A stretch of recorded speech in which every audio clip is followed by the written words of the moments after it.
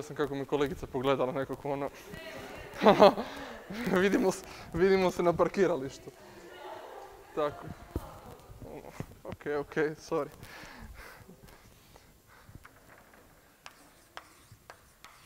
Znači, iz 2010. kaže sljedeće.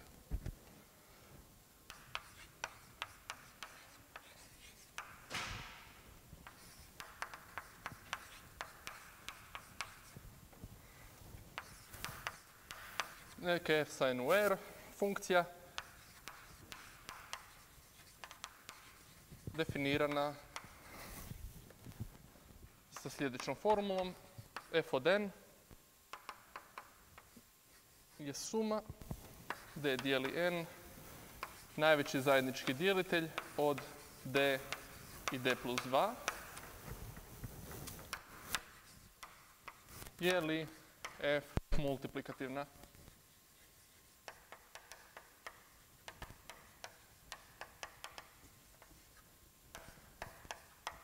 funkcija i pod b.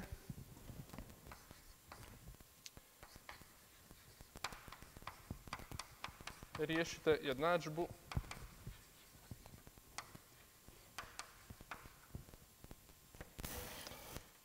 Dva fi od n.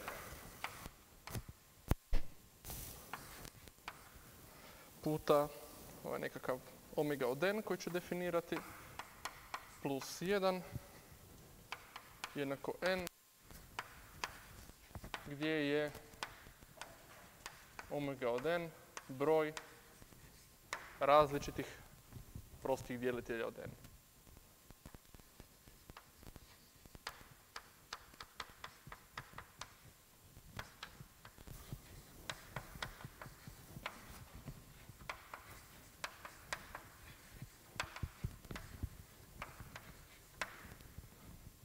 Ok. Rješenje pod A. Dakle, ono što možemo vidjeti iz definicije od f. Ako je d neparan, onda je najveći zajednički djelitelj od d i d plus 2 1. A ako je d paran, onda je najveći zajednički djelitelj od d i d plus 2 jednak 2. Dakle, f od n, znači onda što imamo zapravo? Za svaki za svaki paran djelitelj d od n, u ovoj sumi u ovoj sumi se nalazi broj 2. Za svaki neparan se nalazi broj 1. Dakle, f od n je 2, ne znam, označiti to sa p od n, plus n od n, gdje je p od n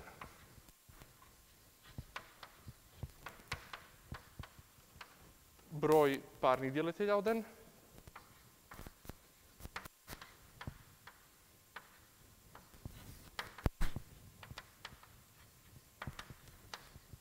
od n, a n od n broj neparnih djelitelja.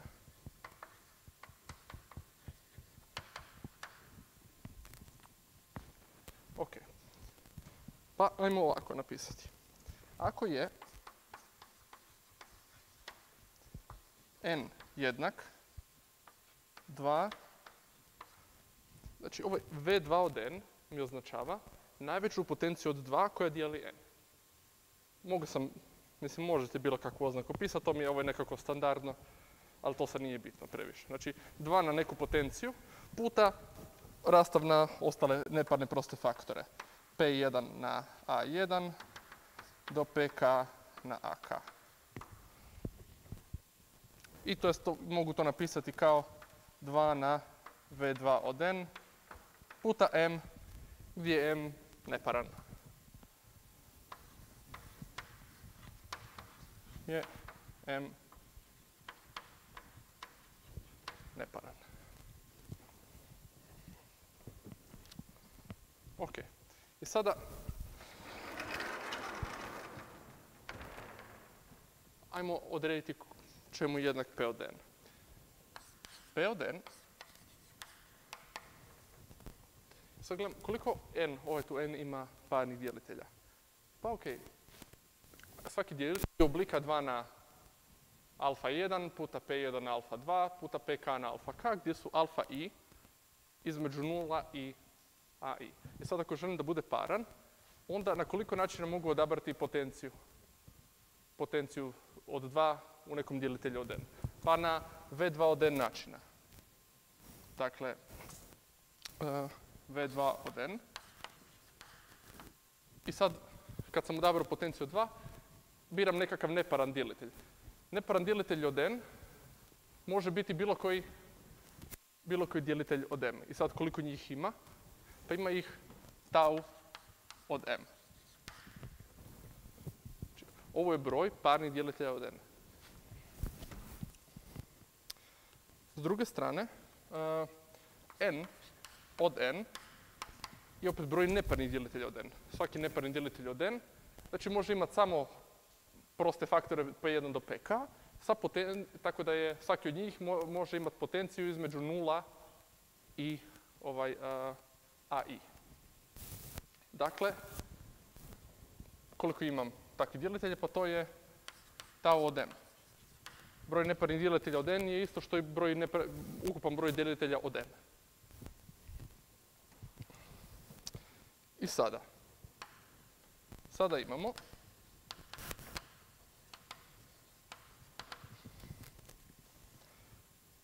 f od n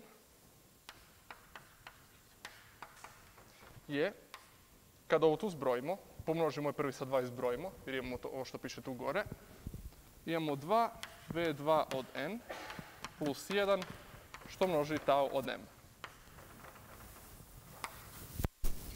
Ok, pa ajmo sad vidjeti. Neka su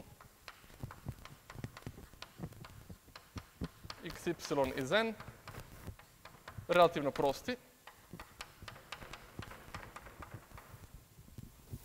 Ako su relativno prosti, znači oba ne mogu, ne mogu biti parna.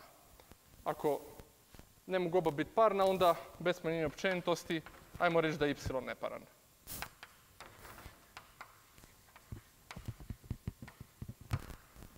I napišimo, znači x može, ne mora biti paran, napišimo x kao 2 v2 od x puta nekakav m gdje je m neparan. I sada imamo f od xy je, pogledamo ovu tu formulu gore. To je 2 v2 od xy plus 1 što množi tau od xy. Najveća potencija od 2 koja dijeli xy je jednaka najvećoj potenciji od 2 koja dijeli x, jer je y neparan. Tako da da li ja x pomnoži sa y ili bilo čim neparnim, najveća potencija od 2 koja dijeli taj broj se ne mijenja. Dakle, to imamo jer je y neparan. I tau, obzirom da su x i y relativno prosti, a tau je multiplikativna funkcija, imamo ovo.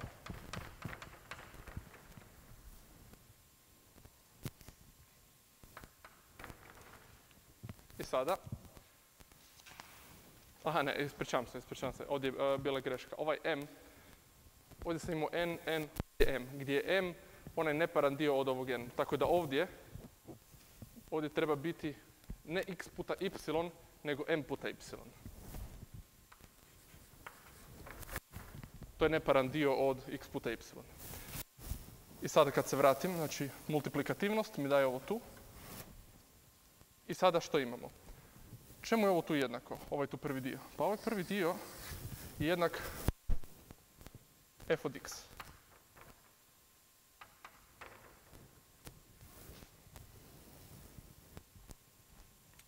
I samo da vidimo šta kaže to ovo tu je f od x, a ovaj tu ako je,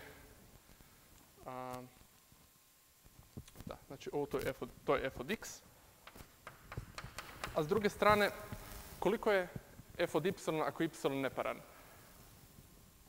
Ovo će biti nula. najveća potencija 2 koja dijeli y je nula, zato je y neparan. Pa je onda ovaj tu izraz jednak 1. To jest f od y je tau od y. Od y, dakle od y. Evo. I dobio sam multipli, multiplikativnost od f. Dakle, f je multiplikativna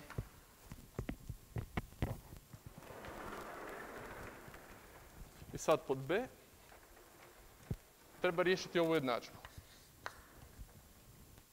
Kaže, znači, rješavamo taj 2 fi od n puta ovaj mali omega, ne znam, od n plus 1 jednako je n. Dobro. Obzirom da 2 dijeli lijevu stranu, onda 2 dijeli desnu stranu, pa mogu bez, bez um, mislim, odmah mogu prepostaviti da je n paran. Uh, 2 dijeli. Inače kad se napišete, sad ne znam kako mi to, ne znam, bi označavali, ali na engleskom ćete inače vidjeti u razno raznim, ne znam, skriptama, knjigama, LHS vam je left hand side. Pa obzirom da 2 dijeli ovo s lijeve strane, slijedi da 2 dijeli ovo što je s desne strane, to jest n. Ok. I sad pišem n kao 2 na V2 od N puta P1 na A1 do PK na AK, gdje su ovi P-jevi različiti prosti brojevi koji su neparni. I sad, a ništa, uvrstit ću to u lijevu, u lijevu stranu i vidjet ću što ću dobiti. Znači, čemu jednak phi od n? To je 2 na V2 od n minus 1 puta P1 na A1 minus 1, što množi P minus 1 do pk na ak minus 1, ak minus 1. To je ova Eulerova funkcija i ovaj duplo v od n mi je jednak broju različitih prostih djelitelja od n, a to je jednako k plus 1, jer imam k neparnih i imam 2. Dakle, ovaj omega od n će mi biti k plus 1.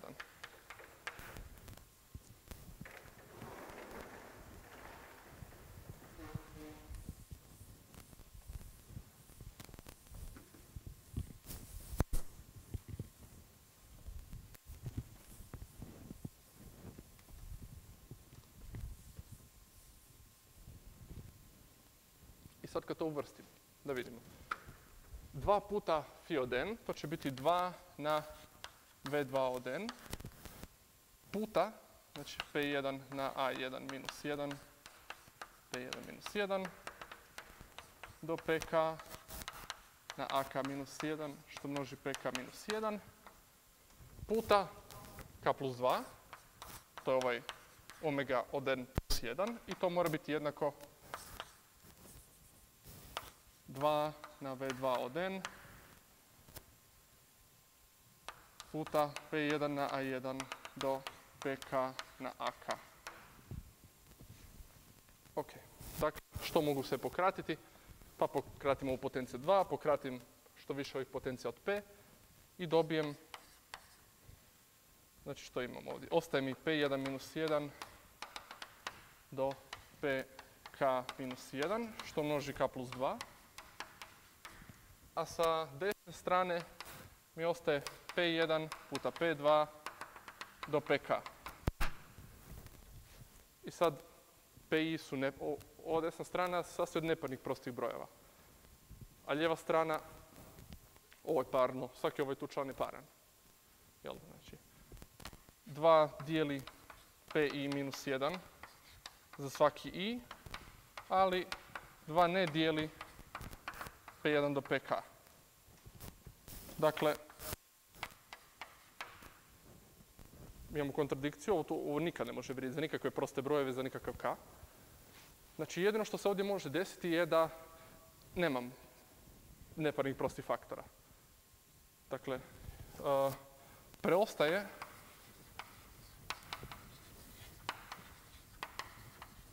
jedino slučaj kada n nema neparnih prostih faktora.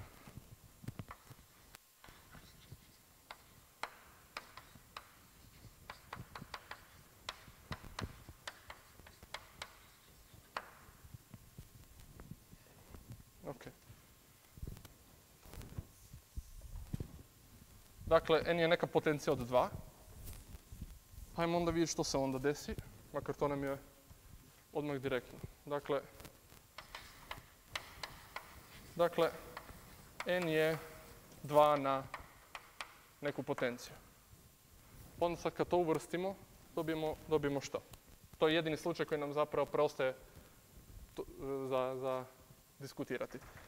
Dva puta phi od n puta taj omega od n plus 1 je jednak dva puta phi od n je 2 na v2 od n minus 1 puta koliko imam, imam samo jedan prosti faktor, to je 1 plus 1, to je 2. I to mora biti jednako n.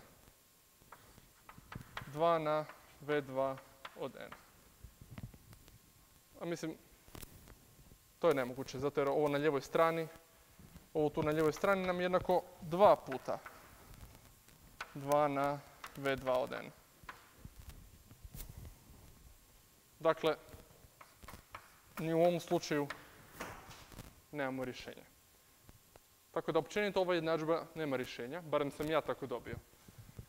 Malo mi je to bilo čudno, nekako sam očekivao da će možda biti, ne znam, ono za 1, n jednako 1, n jednako 2 ili tako nešto.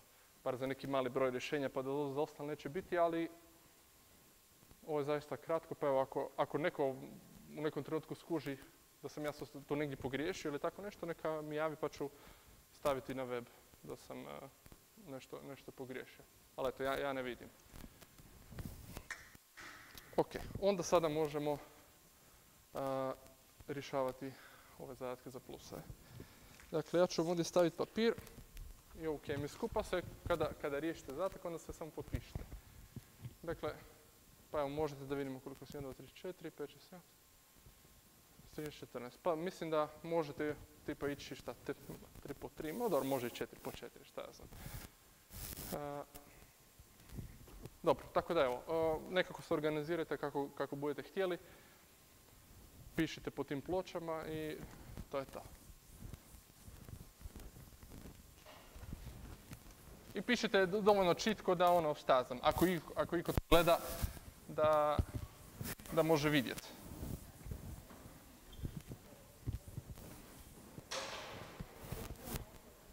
I tu vam je ova... Aha, dobro, može i tako.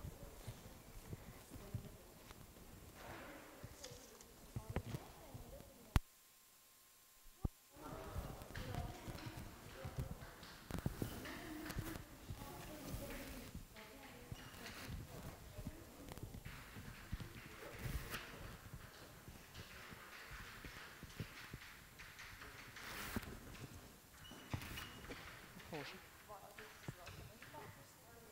E, Ne može da se tako. Dobro, okej. A,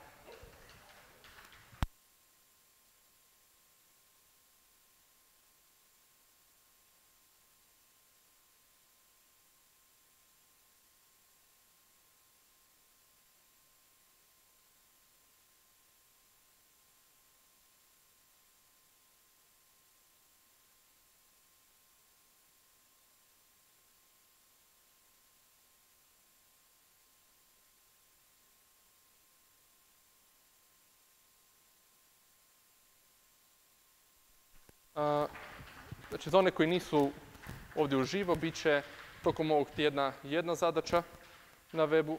Znači za ove koji nisu došli uživo, pa ćete tako moći koji za prvu zadaću slati ta rješenja na mail, a onda ne znam, tipa za dva tjedna će biti još jedna. Opet, za one koji nisu došli uživo i koji nisu tu skupili boda, onda mogu tako. Da li ne za isti tip zadataka? Znači,